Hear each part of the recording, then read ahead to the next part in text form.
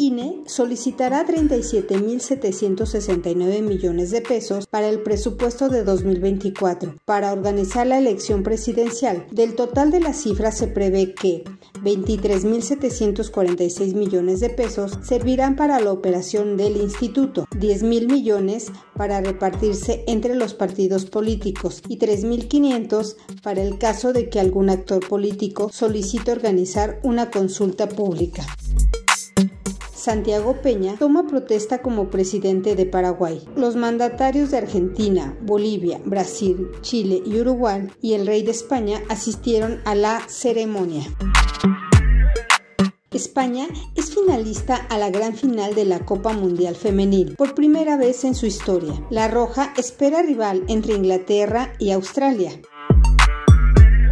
Madonna reagenda conciertos en México. The Celebration Tour ya tiene nuevas fechas. Ahora serán 20, 21, 22 y 23 de abril de 2024 en el Palacio de los Deportes.